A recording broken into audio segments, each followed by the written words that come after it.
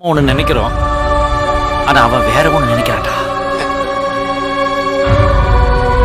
இந்த குழி பறிக்கிற வேலையை எவனா செஞ்சா அவன் மேல கொஞ்சம் கோபம் தானே வரும். ஆனா இவர் குழி பறிக்கிறப்ப மட்டும் அவர் மேல ஒரு பெரிய மரியாதையே வருது குழந்தைங்க கல்வியை கெடுக்கிற எந்த விஷயத்தையும் சூப்பர் சுப்பு அனுமதிக்கவே மாட்டான். சின்ன காலா இருந்தாலும் நல்லா இருக்கணும் சாமியார் வேடம் போட்டேன். ஏன்? சாமியார்களே கூடாதென்றா? இல்லை.